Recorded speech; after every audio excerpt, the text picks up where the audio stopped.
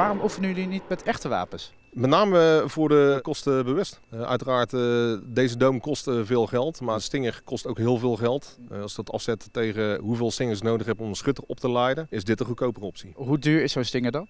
Ja, de prijzen variëren ongeveer tussen de 37.000 tot 137.000 dollar. En hoe vaak kun je zo'n stinger gebruiken? De stinger kun je eenmaal gebruiken. Als je dan kijkt dat een gemiddelde schutter per les ongeveer 10 à 15 schoten afschiet hier. In een cyclus van 12 lessen die hij nodig heeft, dan is dit inderdaad wel een kostenbesparende oplossing.